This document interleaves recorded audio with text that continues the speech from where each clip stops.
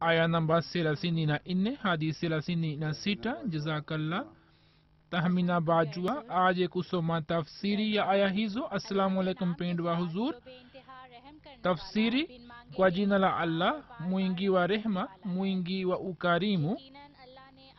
Hakika allah alimchagua adamu na nuhu na watoto wa ibrahimu na watoto wa imrani juu ya walimwengu wazao wao kwa wao na allah ni mwenye kusikia mwenye kujua.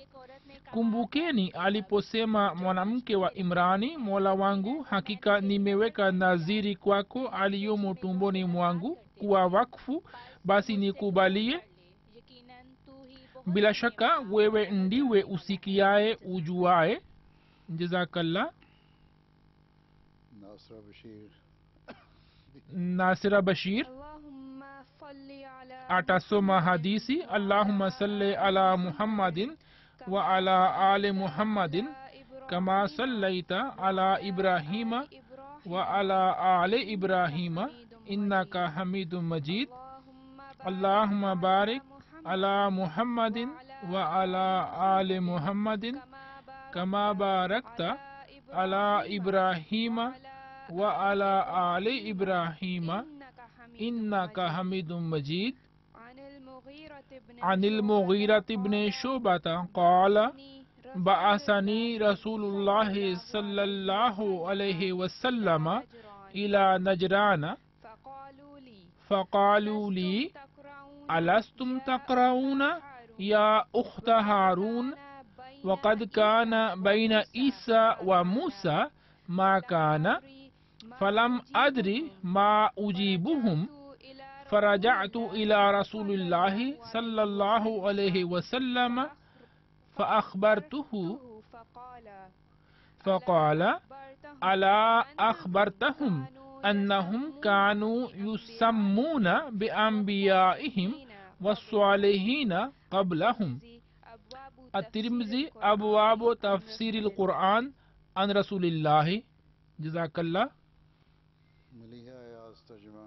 Maliha Ayaz atasoma tafsiri ya hadisi. Assalamu alaikum mpendwa huzur. Tafsiri ya hadisi, Mughira bin Shuba anasimulia kuwa mtukufu Mtume sallallahu alaihi wasallam alinituma Najran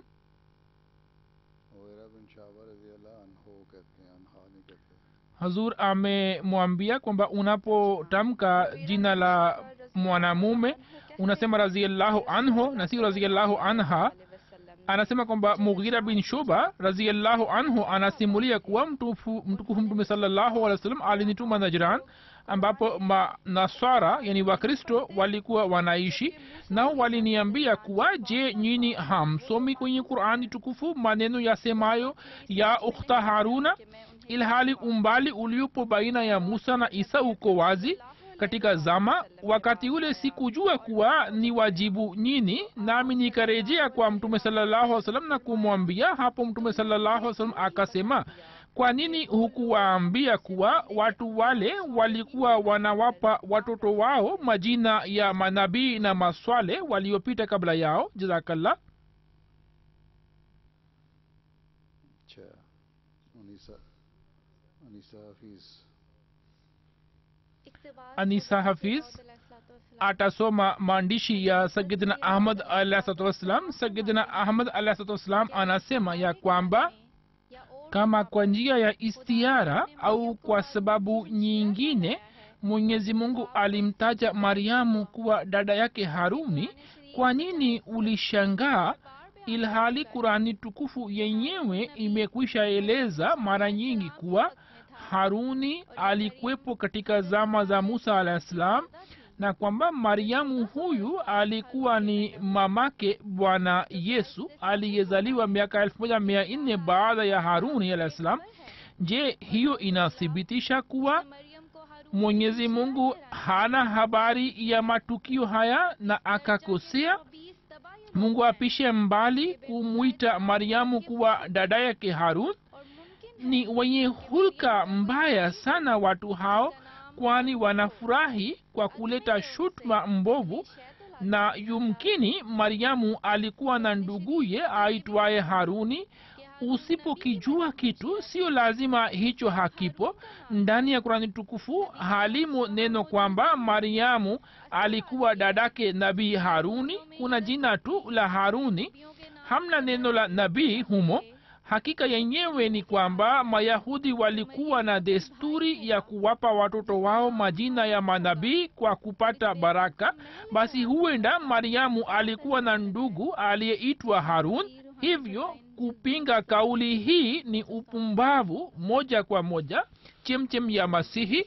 Hanikzain jalada la ishirini ukurasa mia tatu hamsini na tano hadi mia tatu hamsini na saba. Huzuri amesema kwamba sasa mtasoma shairi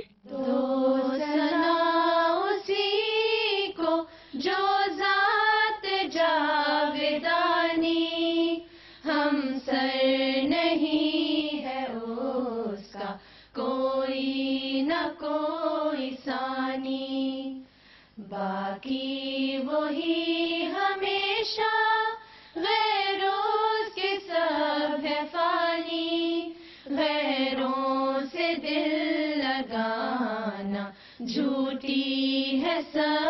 कहानी सब गैर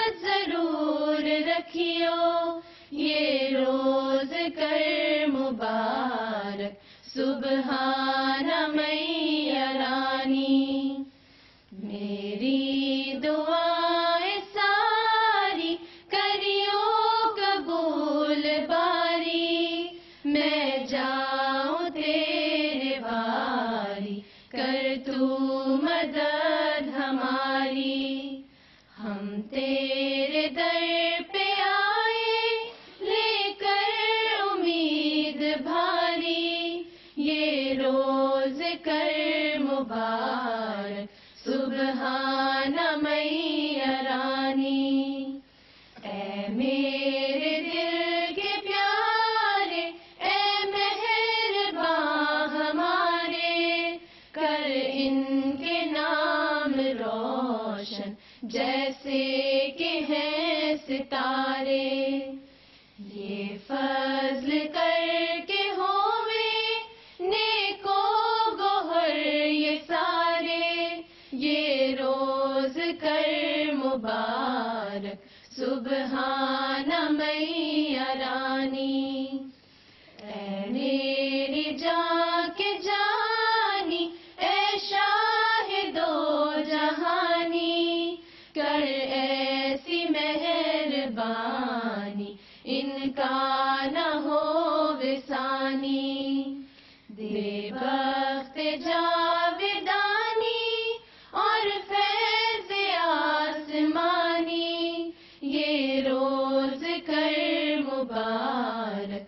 सुबहान मैया रानी। तू है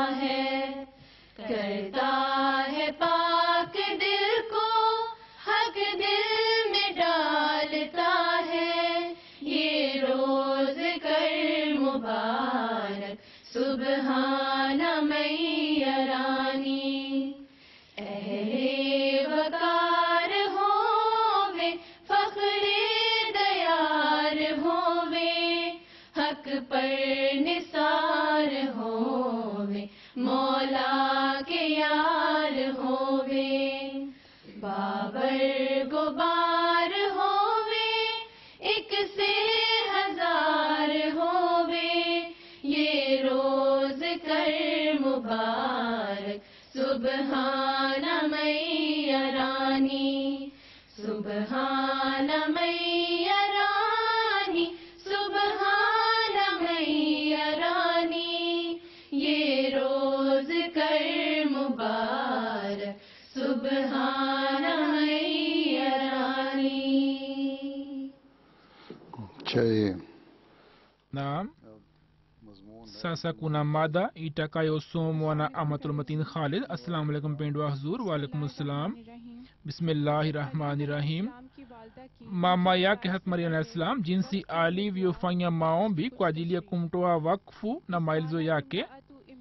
Iz qalat imratu imrana kumbukeni aliposema mwanamke wa imran wanazuoni wamefanya mijadala mingi juu ya swala hilo wakisema ya kwamba qurani tukufu haina habari ya imran na imemfanya mke wa imran huyu wa zamani kuwa mama yake maryamu lakini uhakika ndio huu ya kwamba familia hii ya imran ilikuwa ina heshima kubwa katika wana wa israeli na hapa muradi wa imratu imran ni mwanamke mmoja mtukufu ambaye alisema rabbe inni nazartu laka ewe mungu wangu nime nimeweka naziri kwako aliyomo tumboni mwangu kwa wakfu.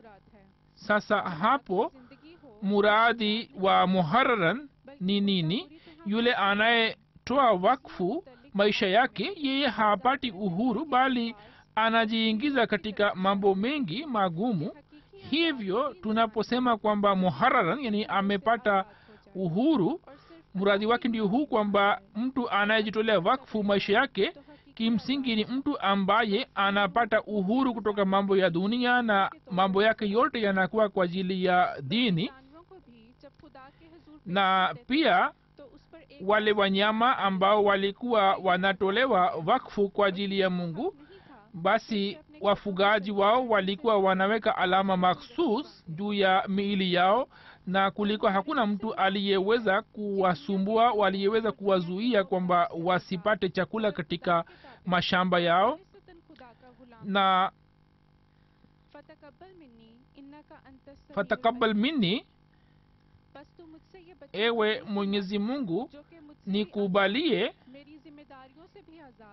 mtoto huyo ambaye amepata uhuru kutoka majukumu na wajibu wa dunia na wewe ndiwe usikiae ujuae tunapata kuelewa vizuri kutoka aya hii ya kwamba yule mama alikuwa na fikira kwamba atamzaa kijana. Na pia sawa na utamaduni wa wakati ule watu wa mahekalu walikuwa hawawapokei mabinti katika wakfu na pia tunapata kuelewa ya kwamba hasmanisalam salam alipozaliwa basi utamaduni huu mpya ukaanza kwamba wasichana pia wakaanza kutolewa wakfu. Kutoka tafsiri ya kurani tukufu iliyofanywa na khalifa mtukufu wa nne rahimahullahu taala uzma arsalan assalamu alaikum pendwa huzur. Ndani ya kurani tukufu ombi la mama yake maryam limeelezwa hivi. kumbukeni aliposema mwanamke wa imran mola wangu hakika nimeweka naziri kwako aliyomo tumboni mwangu kuwa wakfu. Basi nikubalie bila shaka wewe ndiwe usikiaye ujuaye neno muharara limetolewa kutoka har maana yake ni kwamba kitu kimekuwa moto au mtu amekuwa huru yani amepata uhuru. Na muhar maana yake ni mtumishi ambaye alikuwa anatolewa kwa ajili ya kumtumikia mwenyezi mungu na alikuwa anapata wokovu na uhuru kutoka mambo yote ya dunia na pia kutokana na utamaduni wao wale ambao walikuwa wanajitolea wakfu walikuwa hawafungi ndoa. Katika aya hii mama yake mariamu ambaye jina lake lilikuwa hena ameelezwa kama imrate imran yani mke wa imran lakini katika sehemu nyingine mariamu ametajwa kwa maneno ya ukhte harun yani dada yake harun. Imran alikuwa baba yake musa na harun alikuwa mdogo wake. Na pia wao walikuwa na dada yao aliyeitwa miriam. Vivyo hivyo isa bin mariam alikuwa mtoto wa daudi. Hivyo maana ya imrat imran inaweza kuchukuliwa kama imrat al imran yani mwanamke moja kutoka familia ya imran au mwanamke aliye takatifu na alikuwa miongoni mwa familia ya imran. Hivyo watu hao wanaoipinga qurani bila kujua na kuelewa uhakika wanaendelea kusema kwamba ebu angalieni qurani imechanganya 50 years ago mariamu ambaye alikuwa dada yake harun na musa pamoja na mariamu ambaye alikuwa mama yake isa bin mariam lakini swali hili limekusha tatuliwa pale ambapo sahaba moja wa mtume muhammad saa salam mughira bin shoba alipoenda kwa watu wa najran ambao walimuuliza kwamba je hamjui kwamba mama yake mariamu alikuwa amezaliwa baada ya muda mrefu ilhali ametajwa kuwa dada yake harun katika kitabu chenu kitakatifu. Hapo mtume saa salam kwani alisema kwamba kwani hukuwaambia kwamba watu wale walikuwa wanawapa watoto wao majina ya mitume na manabii wao?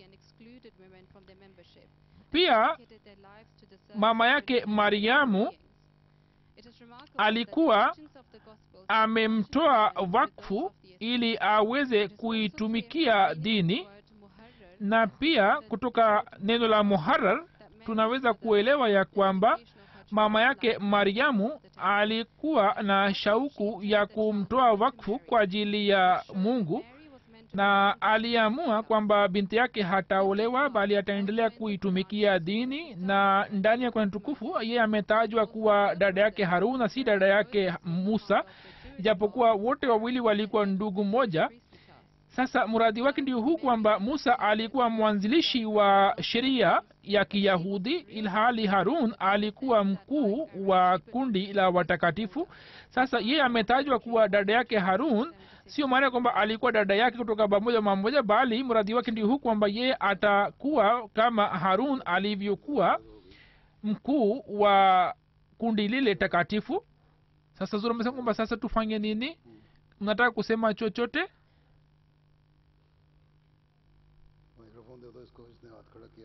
umpatie kipaza sauti aliyenyosha mkono wake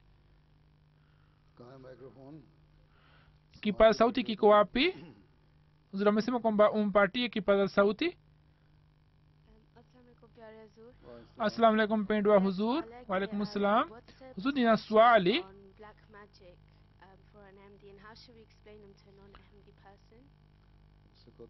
kuhusu black magic tunaweza kusema nini? Yaani uchawi mweusi.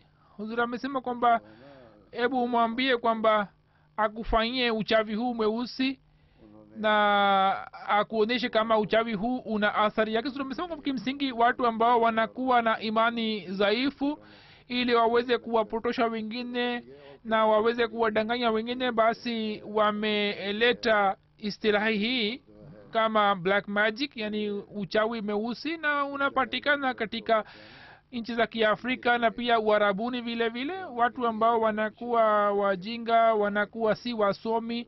Sasa ili waweze kupotoshwa basi wanasema kwamba tuna uchawi huu ambao unaweza kufanya mambo ya ajabu. Hebu mwambie kwamba nifanyie uchawi huu na hutapata athari yoyote. Isipokuwa labda utaingia chini ya athari yake tu kisaikolojia waila hutapata athari yoyote naam sema kipaa sauti kiko wapi assalamu alaikum pendo wa huzur huzur nina swali kuhusu adoption je katika uislamu uda adoption inaruhusiwa yani kumchukua mtoto wa mwingine kwa ajili ya kumlea na je mtu anapomchukua mtoto wake mwingine ili aweze kumlea anaweza kumpa jina lake au anaweza kuwa mrisi yani anaweza kupata sehemu kutoka mirasi yake. So, kwamba katika uislamu mtu anaweza kumchukua mtoto wa mwingine kwa ajili ya kumlea lakini jina la baba yake litabaki lile lile. Na mtume sasa alisema kwamba mtoto anapokuwa mkubwa basi mumwambi kwamba wewe ni nani na wewe ni mtoto wa nani na wazazi wako ni nani? Amesema kwamba kimsingi yeye hawezi kupata sehemu kutoka mirasi yako lakini unaweza kutoa wasia kwamba kutoka jaidadi yangu huyu atolewe sehemu fulani au hata unaweza kumpatia jaidadi yako yote sawa na wasia na unaweza kumpatia mali hii. Naam. Assalamu alaikum pendwa wa huzur waalaikum salam warahmatullah.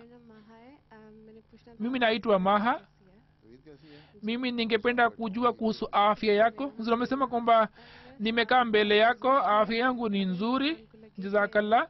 Zuri nina swali lisemalo kuwa ikiwa binadamu ajihisi kwamba ana uwivu katika ibada zake na shughuli zake za kidunia zinaenda vizuri. Sasa vitu hivi vinaenda namna gani? Huzuri amesema kwamba ibada pia ni jambo la msingi na shughuli za jumuiya pia ni muhimu. Unapaswa kutoa haki ya mungu na pia unapaswa kutoa haki ya binadamu. Na unapotoa haki ya mungu mwenyezi mungu amefarazisha sala. Sasa unapaswa kuswali na unapaswa kufunga saumu vile vile. Ikiwa una nafasi nzuri basi ni muhimu ufanye hija vile vile. Na kama fedha imekaa kwako kwa, kwa mwaka moja basi unapaswa kutoa zaka vile vile. Hizi zote ni ibada. Na kazi ya jumuiya pia ni muhimu. Mnaendelea kuifanya. Ambayo pia ni sehemu ya kutoa haki ya mungu na pia sambamba na hilo kuna haki za binadamu kama vile kuwasaidia wengine kuisaidia jamii. Na pia mungu amesema kwamba waina linafsika alaika hakun. Hata nafsi yako ina haki juu yako ili uweze kutimiza haki hii unapaswa kupumzika kidogo. Na pia mwanamume ana wajibu wa kuwalea watoto wake na mke wake na mke ana haki ya kumwangalia mume wake. Mwenyezi mungu ametupatia haki na mwenyezi mungu ametufahamisha na ucha mungu wa kweli ndio huu kwamba binadamu atimize na atekeleze haki za aina zote. Ama kuhusiana na kukubali au kukutaa mungu anajua. Lakini endapo muumini ni mkweli basi mungu amemwambia kwamba wajibu wako ndio huu kwamba utekeleze haki za mungu na pia utekeleze haki za binadamu na wanaume wana wajibu wa kuswali swala wakiwa miskitini na wale ambao hawaendi miskitini bila kuwa na uzuru wowote basi hawasimamishi swala ingawaje wanapaswa kusimamisha swala jinsi walivyoamrishwa. Na binadamu yani wanaume wamepatiwa amri kwamba waende kuswali miskitini na wanawake wameruhusiwa kuswali nyumbani. Sasa wanapaswa kuswali ukiacha baadhi ya siku ambapo wanaruhusiwa na hiyo ndio ibada yake na mwenyezi mungu anawapokelea. Hivyo ni muhimu kwamba utimize na utekeleze haki za aina mbili. Usielewe kwamba umefanya ibada hivyo huhitaji ufanye shughuli zingine au umefanya shughuli za dini hivyo huhitaji ufanye ibada kimsingi unapofanya shughuli za dini bila kufanya ibada shughuli zile hazibarikiwi. Hivyo unapaswa kufanya ibada na pia ufanye shughuli za dini. Hapo ndipo utapata baraka. Mwenyezi mungu alikuwa amemwahidi mtume muhammad saa salam katika vita vya badri kwamba nitakupa ushindi.